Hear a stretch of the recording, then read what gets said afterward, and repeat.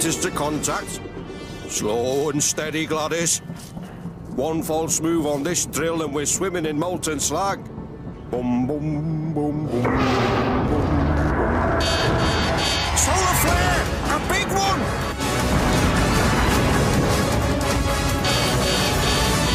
Shut it down! Shut it all down before it's... Too late! The drill slipped! It's going right into the core! Gladys!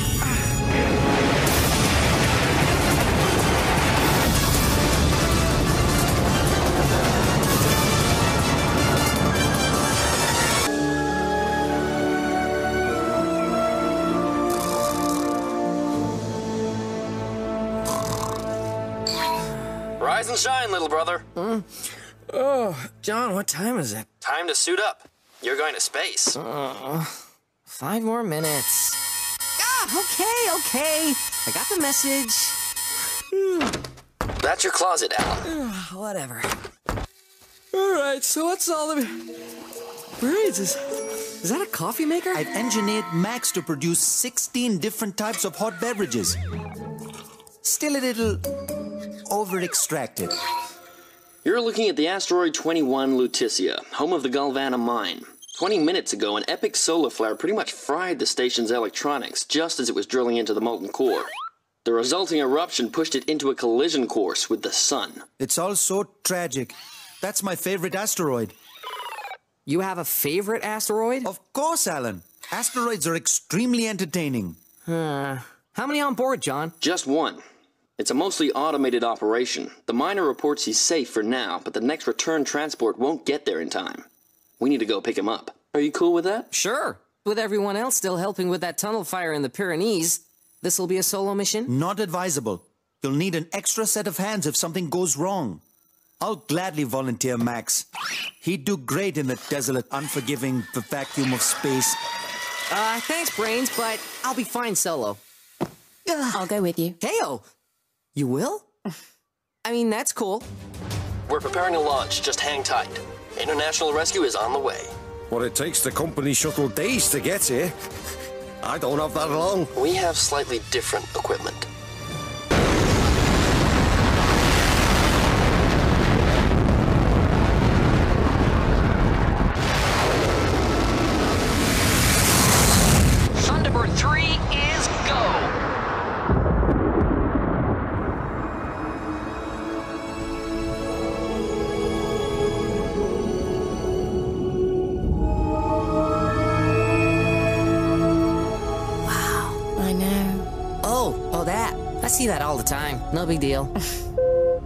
Thunderbird 3, your precise trajectory and optimum velocity have been calculated and loaded into the navigational cluster. Thanks, Thunderbird 5. Have a good flight. You may have launched into orbit before, but I'm pretty sure you've never done this. Three, two, one.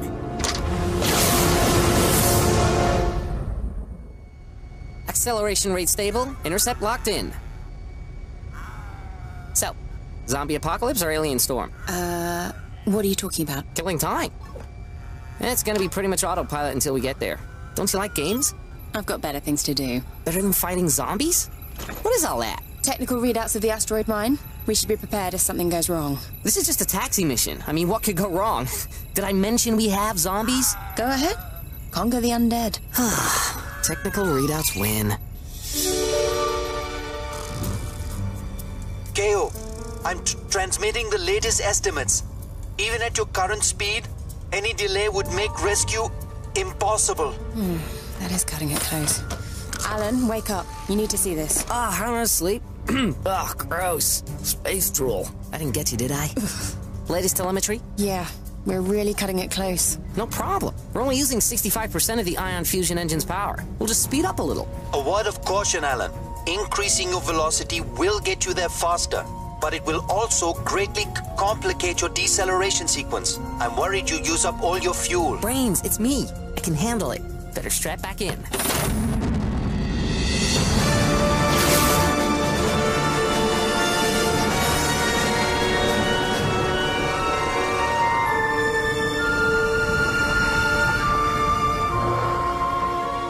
If we don't get off this rock soon, it's gonna get belty in here.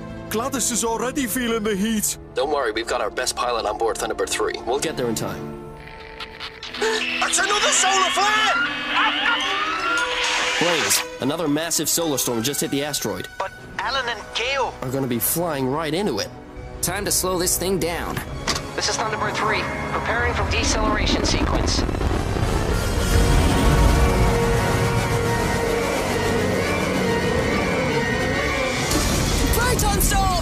Going haywire! We've lost main power.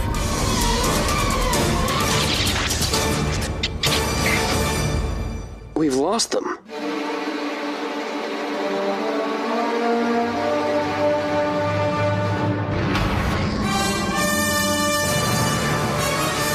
Navigation controls aren't responding. Oh, everything is dead. We can live without comms, but without navigation and propulsion, there's no way we're stopping. What happened back there? We just got hit by a massive solar flare. Well, it's a good thing Brains designed the ship to withstand that amount of solar radiation. Otherwise, we would have just been microwaved. So what now? I need to do a hard reset. We'll power back up and hope everything works. Let's see. And everything doesn't work.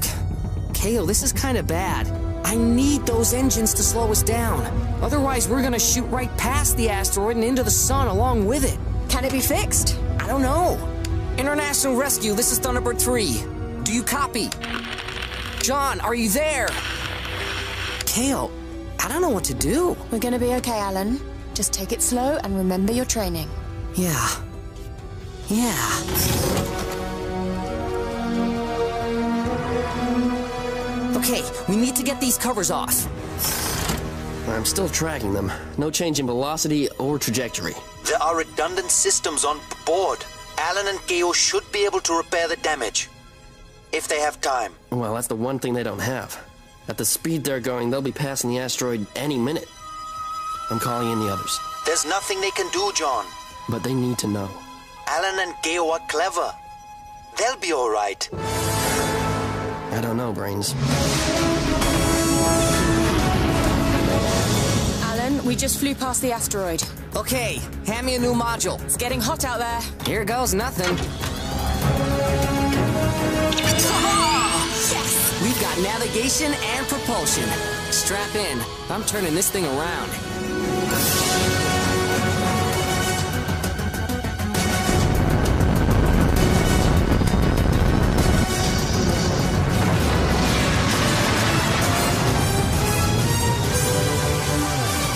They've course. Thunderbird 3 is back on an intercept with the asteroid. Okay, we've matched speed with the asteroid. It's a whole lot bigger up close. We're still safe from the solar radiation. It's the heat I'm worried about. We need to get inside the asteroid. That should protect us from the heat.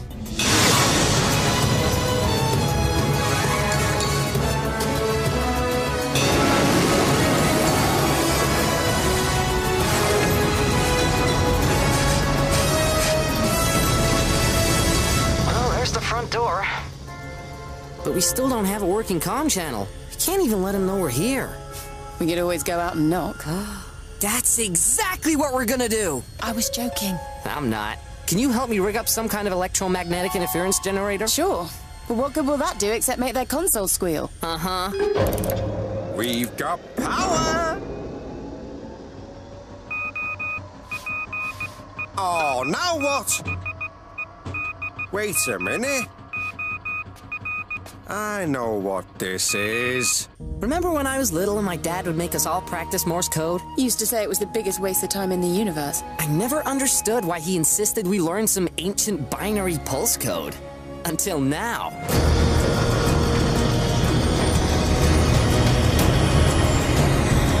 How did you know he would? To work on Golvanna Mine, you have to be space rated. Morse code is still a requirement. Hmm? It was, uh, in the readouts.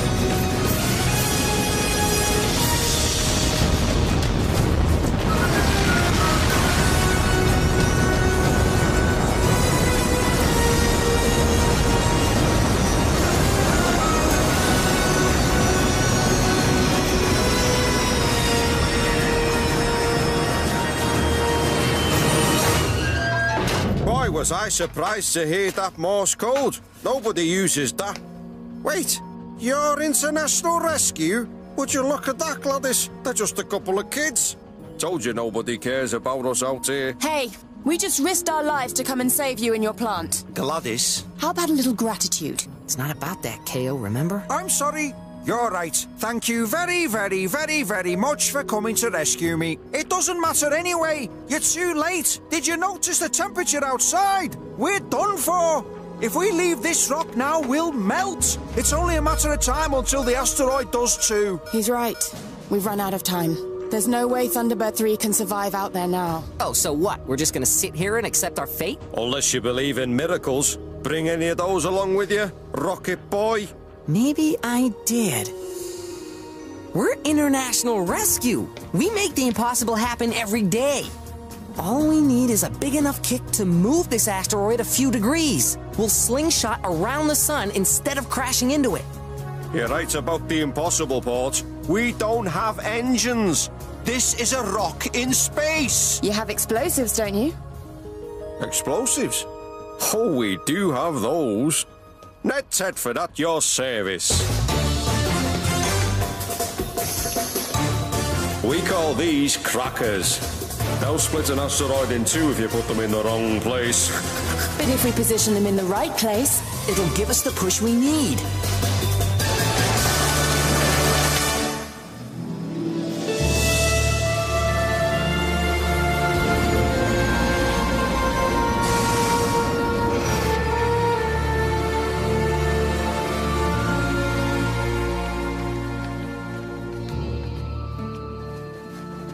Shouldn't have sent them out there. It's what we do, John. But Alan's just a kid, and Kayo. Doesn't need you or anyone else to look out for. And you shouldn't underestimate Alan just because he's the youngest. That kid's a lot more clever than we think.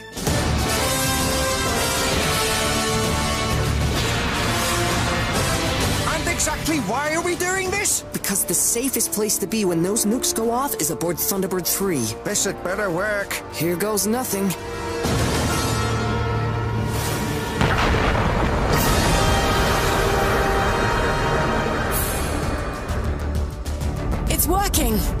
Changing course. I knew you had it in you, Rocket Boy. Thanks. Now we just have to make it around the sun without burning to a crisp. Hold on a minute.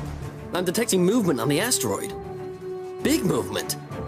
It's changing direction. The asteroid is now going to slingshot around the sun instead of crashing into it. And with the insulating pr- properties of the asteroid combined with the radiation shielding of Thunderbird 3, they'll be reasonably safe. Well, that's some good news. Of course, at the speed they'll be traveling, the asteroid will be thrown into interstellar space without any hope of recovery. You know what I like about you, Brains? You're always looking at the positive. That was sarcasm, wasn't it? Hang on, guys.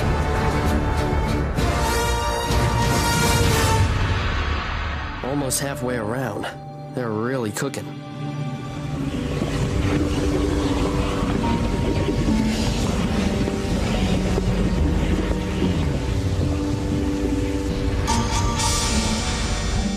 Temperature readings are maxed out. If it wasn't for the asteroid protecting us, we'd be done for. So then we just wait it out. Take a nice trip round the sun and back to home we go. Not exactly. What do you mean, not exactly? We have a slight problem. Oh, that's not good. What's not good?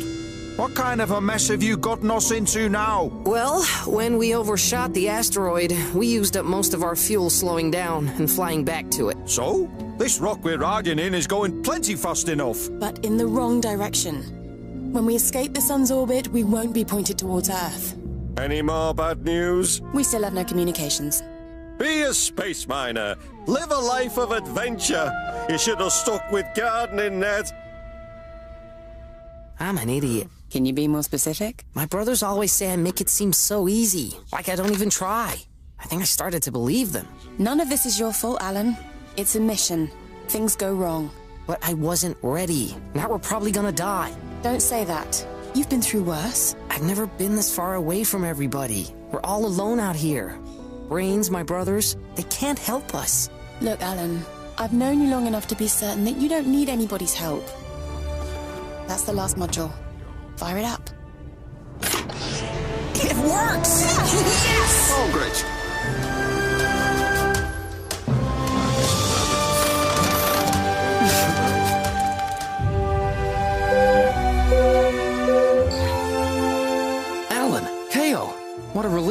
Case you were wondering, backside of the sun looks exactly the same as the front.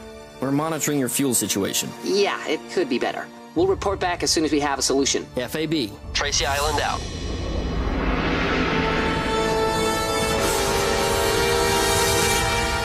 We've almost completed our orbit. Temperatures are dropping a little. I think we made it through the worst, as far as the getting melted by the sun part goes. I say, as soon as we're out of the sun's corona, we ditch the rock and take our chances. And I'm telling you, we don't have enough fuel. We'll be stranded. I'll think of something. I just need a minute. How old are you? Twelve? Gladys thinks the grown-ups need to be in charge. And we say ditch now. Two things. One, Alan may be young, but I trust him with my life.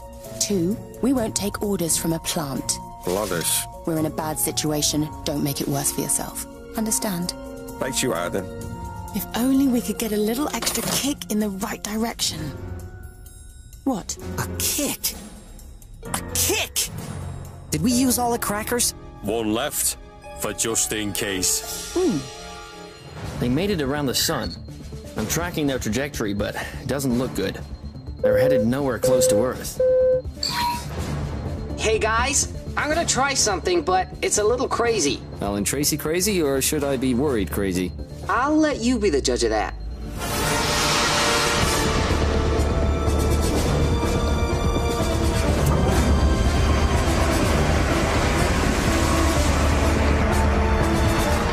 Don't see how this is going to work. We're sitting right on top of that last explosive charge. When it goes off, it should shoot us from the asteroid like a cannonball. Along with our own engines, that should give us enough velocity to get us back to Earth. I've m- mapped your precise spin using telemetry data from Thunderbird 5. I'm transmitting to you now the exact moment at which to launch. The margin of error will be less than one half second. You'll only get one shot at this. Otherwise, we fly off in the wrong direction. I got it. Don't Gladys and I get a say in this. No! Coming up on launch. I'd strap in if I were you.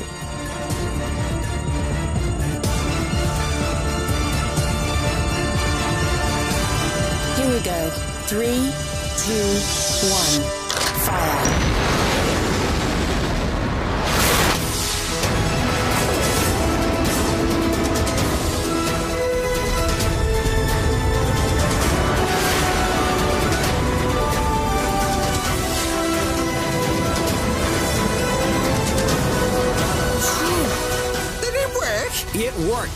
We're heading in the right direction.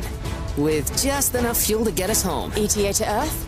Three hours. Not bad, Rocket Boy. Sorry we doubted you. I'm sorry I doubted me too. And thanks for sticking up for me.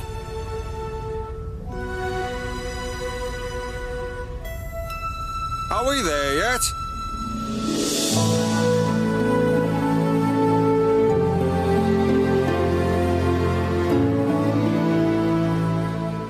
Thought, why not make us the cannonball?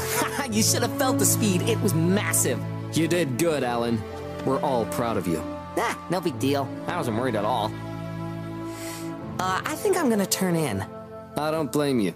Get some rest. I'm heading back up. Good work up there, Kayo.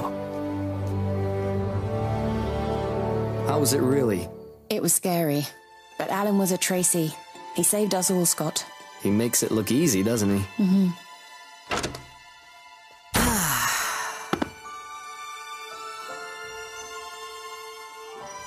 Ah. Rest time's over, Hotshot. We've got to rescue. FAB. Kidding.